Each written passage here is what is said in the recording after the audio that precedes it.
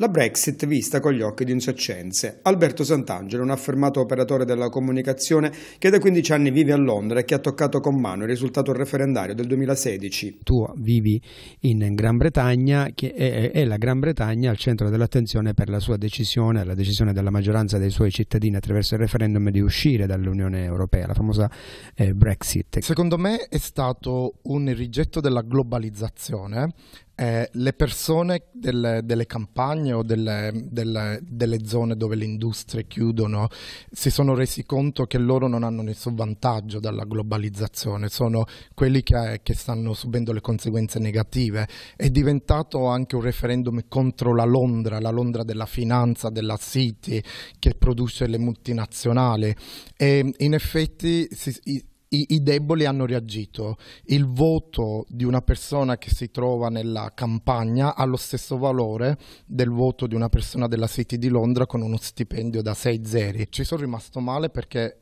ho detto ma non me ne sono mai accorto, cioè i miei colleghi, i miei amici le persone britanniche di Londra eh, non eh, sembravano a favore di, di, rimanere, cioè erano a favore di questo eh, concetto della, dell'Europa, persone che lavorano, soprattutto negli uffici che ho sempre lavorato, ehm, i, i, gli stranieri, ehm, che a quel punto non eravamo mai chiamati stranieri, adesso siamo passati, siamo passati prima ehm, europei come se i britannici non fossero europei, adesso siamo completamente stranieri. Ecco cosa ha fatto Alberto per fronteggiare le conseguenze di Brexit. Sono diventato britannico, quindi ho fatto la richiesta di, di cittadinanza britannica. Avere l'ansia che i, i, miei diritti dipendano da chi c'è al governo eh, non penso sia la, la soluzione giusta, invece ehm, è, è, quello che ho voluto evitare. ovviamente la, la, prendere la cittadinanza ha un costo, quindi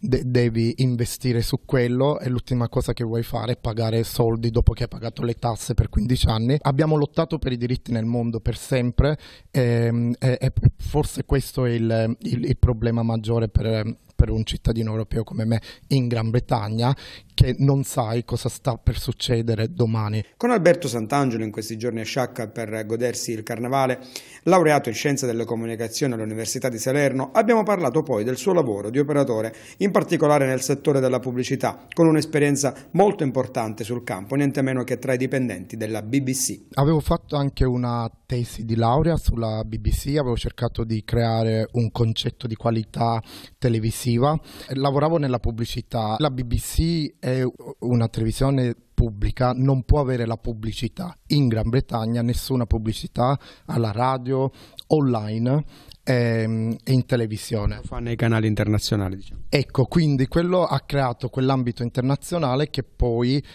mi è piaciuto nonostante il tipo di lavoro. C'era un, um, un codice etico molto molto stretto. C'erano due concetti nel codice etico della, della, BBC, la separazione, completa separazione tra giornalisti e quelli che come me si occupavano di pubblicità. Non ci facevano parlare, cioè nel senso eh, eravamo completamente separati, loro non sapevano per evitare influenze di tipo commerciale sul prodotto. A- adesso ho cambiato azienda, quindi adesso lavoro per l'azienda che, ehm, che ha MTV, Nickelodeon, Comedy Central, Paramount, Channel dal maggio del 2018, la legge europea, la direttiva europea, non so come si chiama in, eh, in italiano, è GDPA, eh, quello è stato diciamo un bel mal di testa perché eh, soprattutto per, um, per Nickelodeon e i bambini perché la direttiva europea prevede il consenso per utilizzare i dati, tu non puoi chiedere il consenso a un bambino di 6 anni, devi, devi chiederlo al, al, genitore.